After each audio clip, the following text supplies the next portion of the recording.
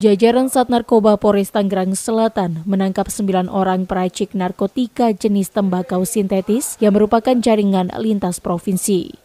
Dari pengakuan para pelaku, mereka memproduksi narkotika jenis tembakau sintetis ini secara otodidak dan belajar dari media sosial. Guna mengelabui petugas, mereka menjual tembakau sintetis ini dengan mengubah produk yang ditawarkan yakni biji kopi. Biasanya mereka menjual melalui media sosial. Para pelaku ditangkap di tiga lokasi pembuatan di tiga lokasi yang berbeda, yakni Tangerang Selatan, Bogor, dan Makassar. Dalam satu bulan, pelaku bisa memproduksi sekitar 10 kg narkotika jenis tembakau sintetis. Mereka menjual atau mengedarkan barang ini melalui media sosial.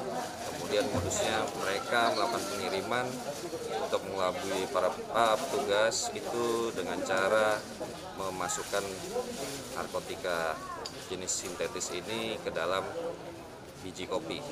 Guna mempertanggungjawabkan perbuatannya, para pelaku dijerat dengan pasal berlapis tentang narkotika dengan ancaman hukuman maksimal seumur hidup. Ariel Maranus dan Syahbudinatar melaporkan dari Tangerang Selatan.